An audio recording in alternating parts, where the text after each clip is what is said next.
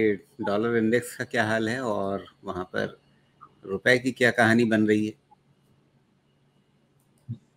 Dollar index पे अभी भी प्रेशर है। आप देखिए, हर बार हम अपने लेवल्स को थोड़ा ट्वीक करते हैं, लेकिन किसी भी तरह से जो 106 प्लस माइनस वन पॉइंट जो रेंज हमने रखा हुआ है, वो अभी भी ब्रेक नहीं हुआ है डॉलर का। तो डॉलर सॉफ्टनिंग मेरे हिसाब से रहनी चाहिए।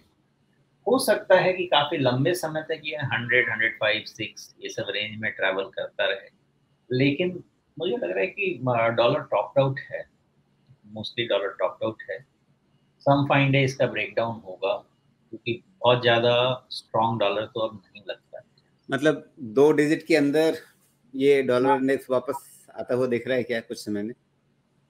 फाइनली आना चाहिए लेकिन साइकोलॉजिकली जिस तरह से हंड्रेड पे रुका हुआ है वो खत्म होना होगा। अगर वो हुआ तो दो मतलब 96 97 की तरफ़ भी चला जाए डॉलर लेकिन पहले जरा हंड्रेड की टूटे और उसका असर हमारे रुपए पर क्या होगा? रुपया जो है इस समय तो ठीक ठाक ही लग रहा है। वो हम लोग महीनों से बात कर रहे हैं। 83 का लेवल ऊपर छत बनी हुई है।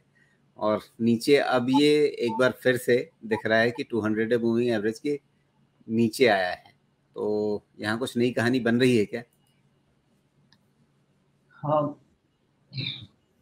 यूएसडी आईएनआर सर्टेनली बन तो गया है 83 का टॉप जैसे हमारा बन गया है यूएस डॉलर का टॉप लेकिन फ़िलहाल मुझे देख के ऐसा ही लगता है कि 83 के आसपास ट्रैवल तो होगा यूएसडी आईएनआर का। अब नीचे कितना जाएगा, वो थोड़ा सा मामला वही है, उसको एनालाइज करने का। मैक्सिमम इसको लेकिन ब्रेकडाउन की स्थिति बनती हुई दिख रही है क्या? 200 डे मूविंग एवरेज को तो छोड़ चुका है।